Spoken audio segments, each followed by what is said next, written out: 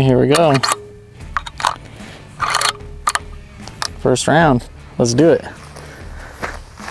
I'm shooting 165 grains. All right, first shot, Howa Super Lite. Not too bad. I mean, it gives a punch, that's for sure, but nothing, yeah, that's not bad. Kaboom. All right, let's clean it. All right, guys, all cleaned up. Here's round two. We're gonna adjust. Um, I saw it hit low, so stretch them out.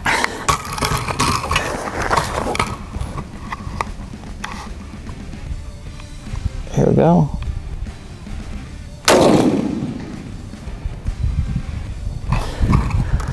Looks like we still need to come up.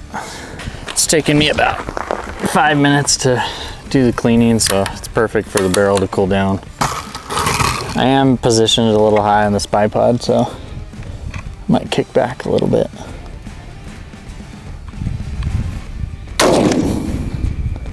All right, we're getting closer as far as the height. Round four. All right, here goes shot five. Still low. Goes round six.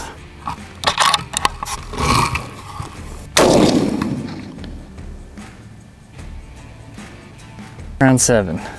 All right, guys, so this is shot eight. Should be able to hit this gray rock.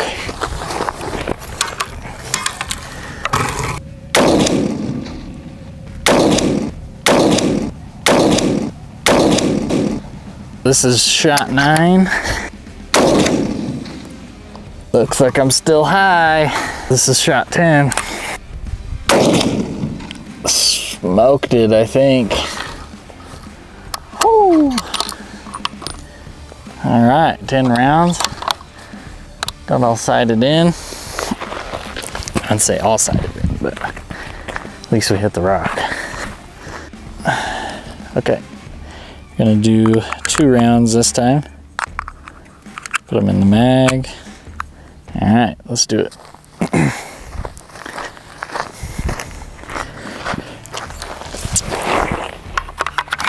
I'm gonna do a little bit of uh, rapid fire so that we can tell um, or try to see how hot the barrel gets after two fast rounds. Um, I'm just to be doing a feel check um, because I don't have anything to check that temperature with. Plus, I don't want to get that technical into it. Um, but the barrel's clean, it's cool. We'll do the two shots and I'll feel it and kind of compare it to the single shot. Um, and yeah, I'm sure it's going to be warm, but it shouldn't get too too hot. The single rounds weren't bad. All right, ready?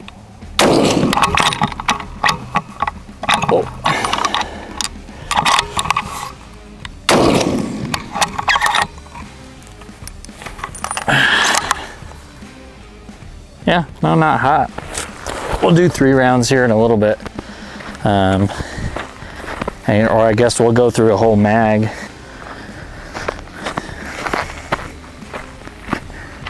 All right, so the barrel did take a little bit longer to cool, maybe like a minute or two. Um, but we're gonna go ahead and do two more rounds.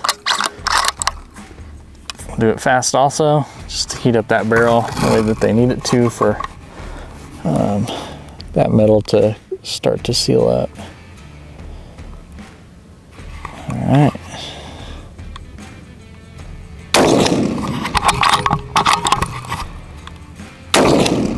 Actually gonna freehand this one for you guys just so you can see the kick on it.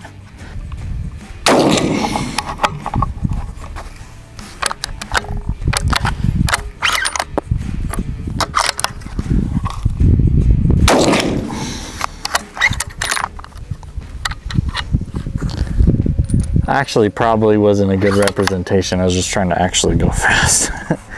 I'll do it again. Okay, so let's try this again. Sorry, it's starting to, the wind's starting to pick up here.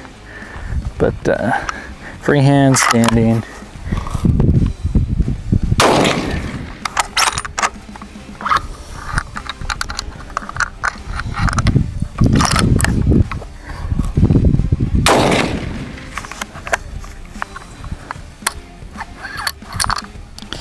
Getting some uh, resistance with the extractor. Yeah, the extractor for some reason just doesn't want to uh, pull out these shells.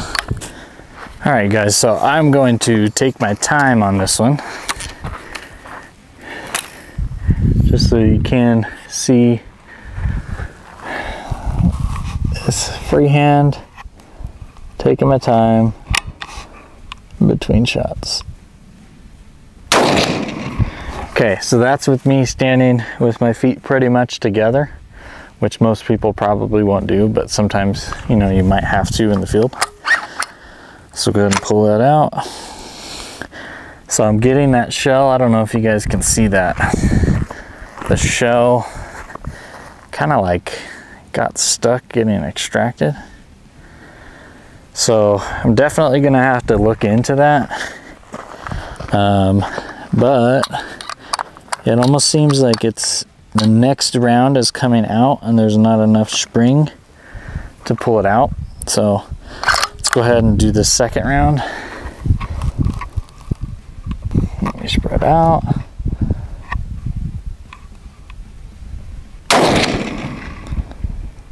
A little better. Yeah, so this is the issue that I'm having. They're pulling out, but there's not enough spring in that extractor or it's at a bad angle or something. These rounds are getting stuck. So I don't know, you can see it there. Yeah, it's getting stuck right there. So um, that's why I'm not able to do a good follow-up shot. It's kind of been 50-50 with it. Um, so I'll, I'll keep you guys updated. Yeah, I'm not really sure what's going on with the extractor. Um, I mean, it's it cycles fine, just like this. Throw a round in it though, or at least a used round. And so that one's good.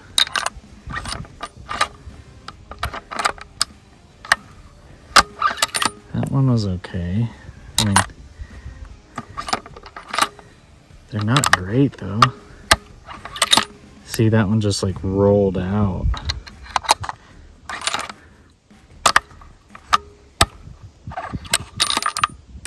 Just rolls out. Lots of brass in there. Don't typically see that, I don't think, on most of my other guns, so just could just be the breaking in process. I'm gonna brush that stuff off though, kind of test it.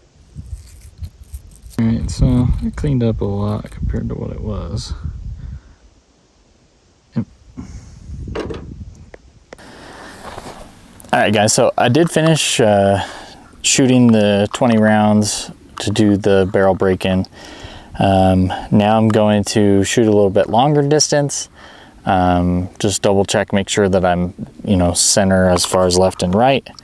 And then I'll, um, I'll probably end up shooting on paper, not today, but um, later on. So um, we're gonna shoot all four rounds um, that it can hold because the mag can hold three. So we'll just go ahead and load these guys up. One, two, three, I don't think it'll hold a fourth. Nope, just does three. So then we'll put this in the chamber. We'll go through all four rounds and see how hot the barrel gets.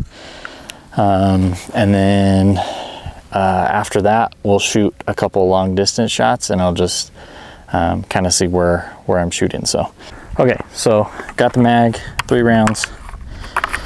Gonna put that in.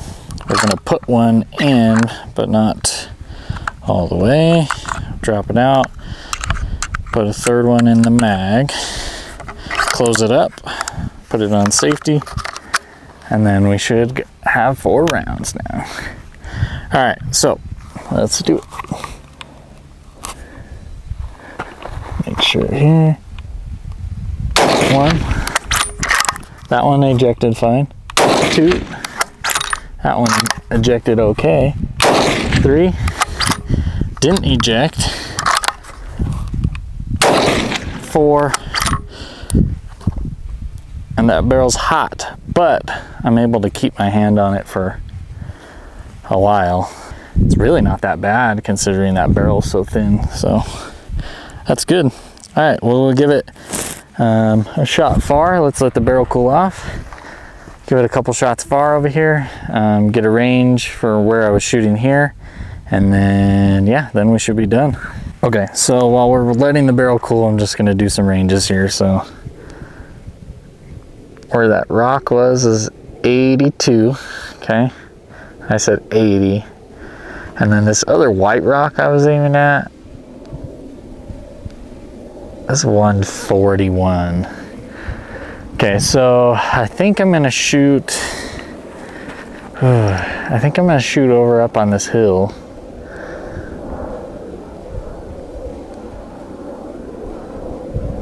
Oh, perfect. It's 298 over there at that hill. So I turn this around.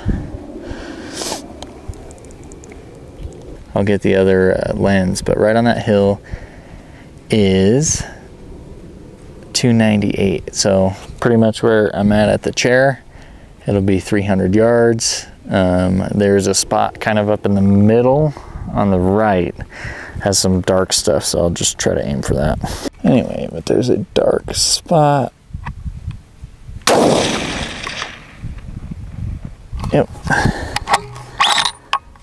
So that one still extracted just like weak. Okay, so that one was low, definitely. Okay, so I hit next to that rock but I am hitting a little to the left. Just had problems with this extraction. Um, and unfortunately, one, two, three, four. That should be, yeah, that should be good. Okay, let's do this last round up here.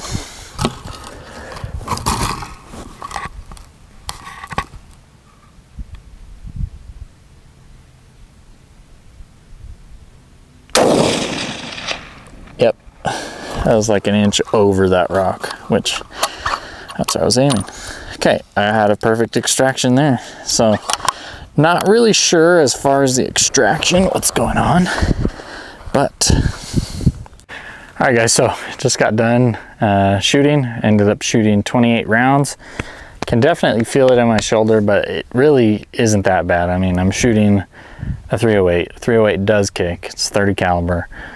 Um, but I mean, being as lightweight as it is, I, I mean, I couldn't be happier with it. Um, I feel comfortable.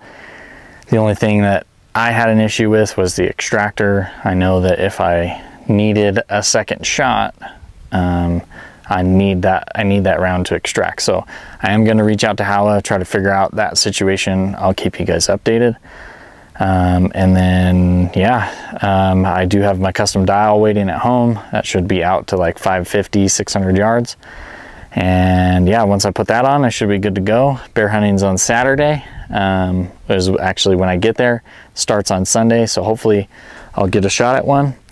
Um, but yeah, thanks for watching. Uh, thanks for being patient with me. I had a lot of home stuff going on. We moved and um, just some other stuff. So um, but today was a great day to come out and shoot. Um, I'm all alone out here and got my gun done. Um, so I'm happy. I hope you guys are happy. If you guys like that video, hit that like button. Um, if you guys want to follow up and watch that uh, bear video, um, hopefully from this trip, um, hit that subscribe button and hit that notification button down below so that you guys can keep up. But other than that, thanks for watching.